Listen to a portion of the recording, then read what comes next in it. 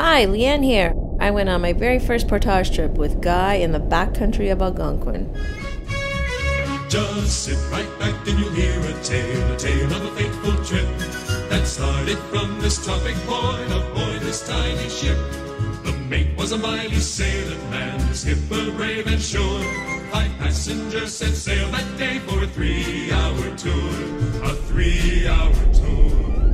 So we made it to my very first portage and carried our stuff along, seeing some great big huge bear tracks on the path and sitting there, you know, a little nervously waiting for that bear to come back.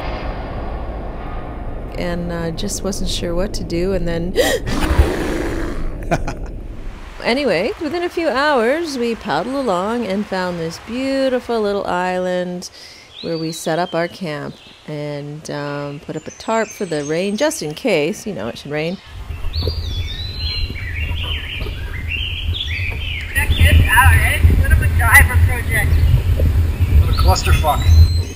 Played with our selfie stick, brand new selfie stick, tried to get the sunset, living the dream.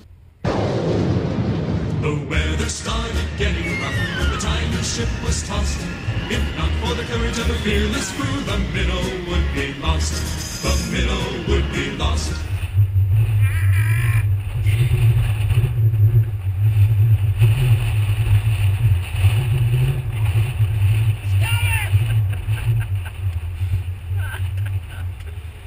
Every time I come here. I think we're stuck here forever now.